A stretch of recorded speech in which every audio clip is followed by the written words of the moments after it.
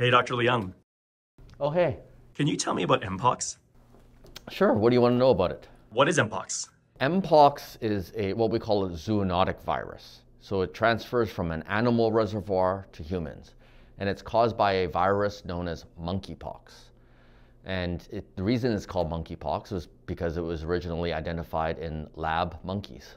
It was first identified in lab monkeys in 1958, and then subsequently in 1970s, that's when we identified the first human case. This is not a new virus. In fact, it's closely related to another virus that we know a lot about, is smallpox.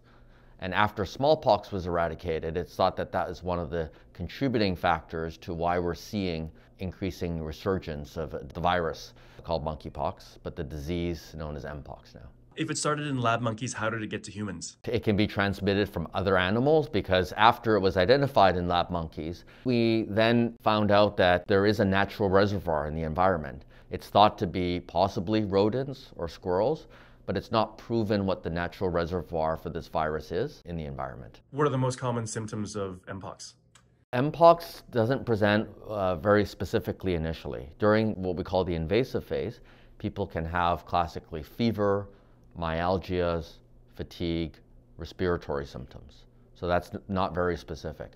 After that phase, people can develop skin lesions. So these skin lesions look like pox-like lesions, meaning they are either fluid-filled or pus-filled. They start to scab over, and they could present on any part of the body. Once it gets into humans, is it dangerous? So there is uh, dangers associated with monkeypox. So not only does it cause a respiratory disease, it causes skin disease, and because it the virus can start to spread in the blood, you can have complications from that, including more severe complications like encephalitis, and then secondary infections that occur from there. And there is case for fatality rates, so meaning people die from this but it really depends on many factors what the case fatality rates are. Is it treatable?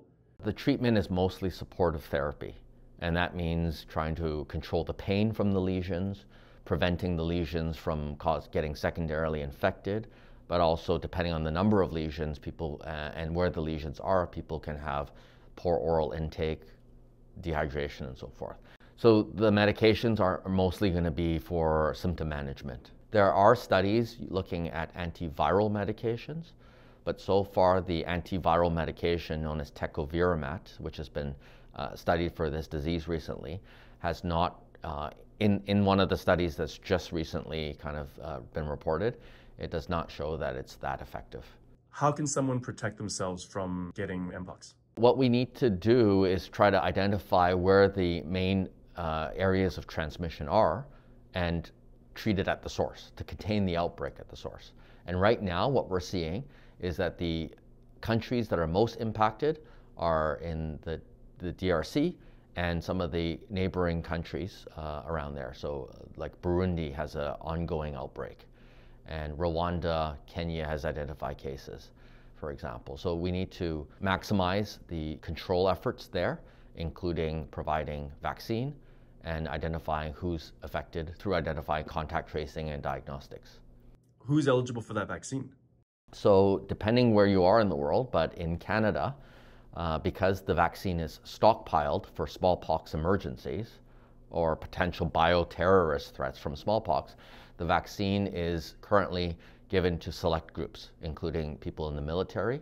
But because of the outbreak, identifying the risk mostly being through sexual transmission among uh, gay, bisexual, MSM, and sex trade workers.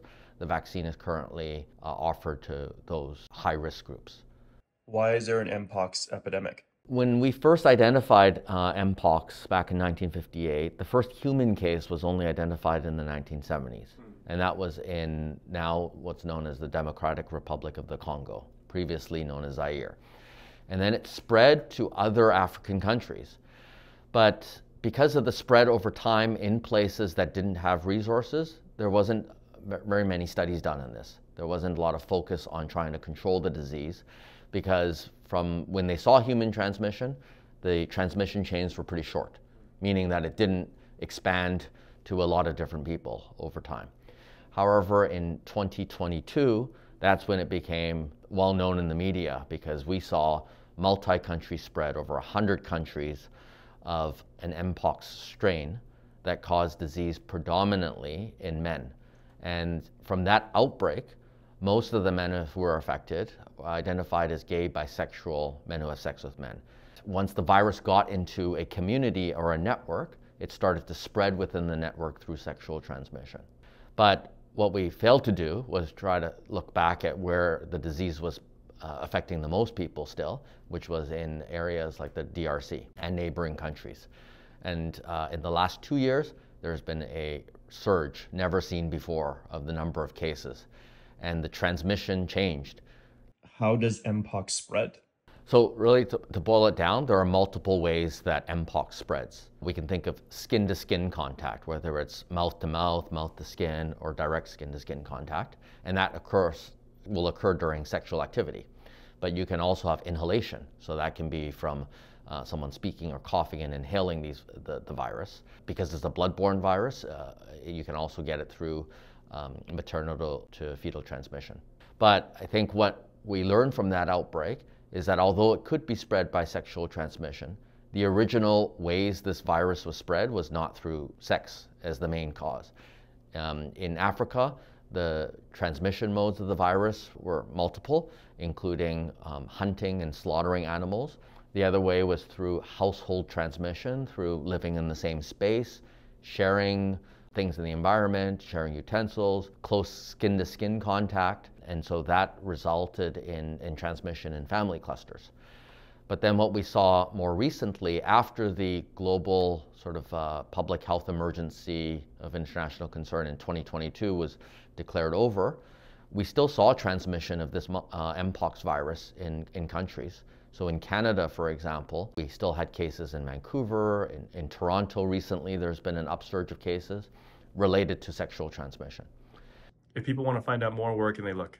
The sources of information should be from uh, public health agencies. So I would suggest that if you are in Canada, you can look at the Public Health Agency of Canada for more information. You can also get updates uh, in terms of the situational report of where the disease is spreading and, and what the uh, global community is doing through the WHO website. Those resources where you can get more information will be linked below.